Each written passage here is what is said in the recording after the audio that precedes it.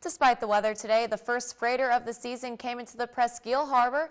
Members from Lafarge and Presque Isle presented Captain Joe Rush of the Interlake steamer freighter James L. Oberstar with a calendar for the wheelhouse along with a couple welcome cigars for him and Chief Engineer St. Pierre as a welcome for the first boat to dock this season.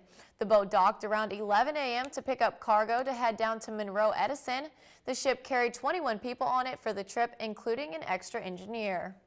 Well, it's to help us get through this ice season. Okay. You know, there's, um, it's not easy operating in, in the ice, you know, you bang around a lot and you, you knock loose a lot of rust, Yeah. you know, and there's usually plumbing issues and, um, it's just good to have it.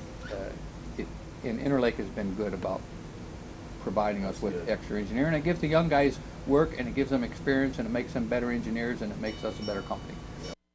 Captain Rush has been working on boats since 1978 and on and off of this freighter for 12 years now.